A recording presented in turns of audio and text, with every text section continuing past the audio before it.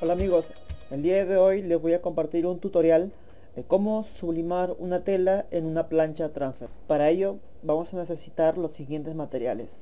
Una lámina de teflón, cinta térmica, regla, tijera, un cúter, la impresión claro, una plancha transfer nacional manual y la tela para sublimar.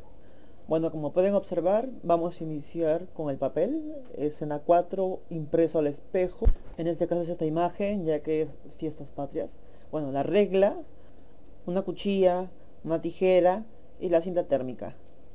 La cinta térmica en sí es para poder sujetar la hoja en el material. Y el teflón, que puede ser opcional en este caso. Estoy utilizando un papel de sublimación A4 impresa modo espejo y la plancha transfer le tenemos que poner una temperatura de 215 grados por 40 segundos. En este caso que es para la tela. Y en la presión le vamos a dar una presión media alta. Bueno lo que vamos a proceder ahora es a cortar los cuatro lados para evitar que se ensucien los extremos. Bueno pero en este caso como la imagen es entera no es necesario. Y casi me olvidaba la tela. Este ejemplo estoy utilizando la tela Taslan importada y en este tutorial sirve para confeccionar un cojín o almohada. Ahora vamos a darle un precalentado de 5 segundos. Esta precalentada sirve para evitar que esté húmeda la tela o que esté arrugada, ya que de lo contrario la imagen saldría borrosa o movida. Ahora procedemos a introducir el papel con nuestro diseño y le damos la presión por 40 segundos. Una vez transcurridos los 40 segundos, levantamos la plancha. Como podrán observar, la plancha no está realizando el conteo, ya que esta plancha nacional necesita una presión fuerte para que recién pueda realizar el conteo. Una vez levantada la plancha, procedemos a retirar el papel y ver cómo quedó nuestra sublimación. Como pueden observar, este es el procedimiento para sublimar en una tela. El mismo procedimiento se realiza tanto para los polos, para los mospad, fotorrocas, etc. Pero con una presión, temperatura y tiempo muy diferente que el de este ejemplo. En esta oportunidad, en ese material se, se puede realizar para cojines o para fundas, dependiendo del gusto que ustedes deseen manejarlo.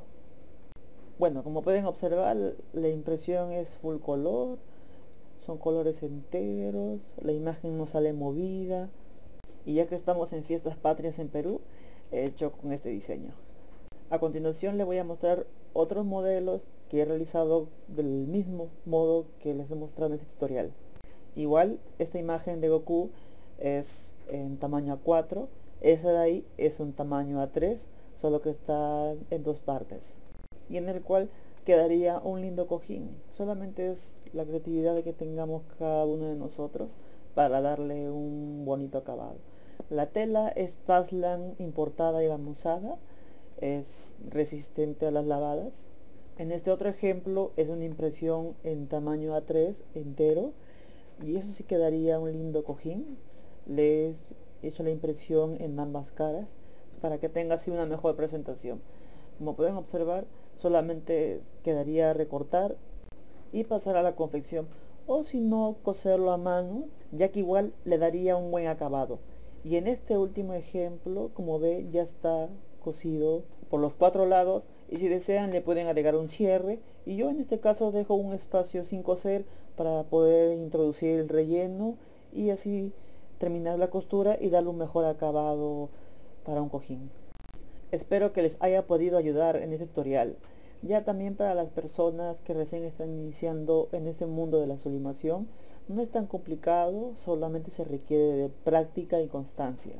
Y si les gustó el video, no olviden de darle like y suscríbanse que voy a seguir subiendo tutoriales y tips de sublimación para así todo perfeccionarnos en este rubro y brindarles un trabajo de calidad a nuestros clientes.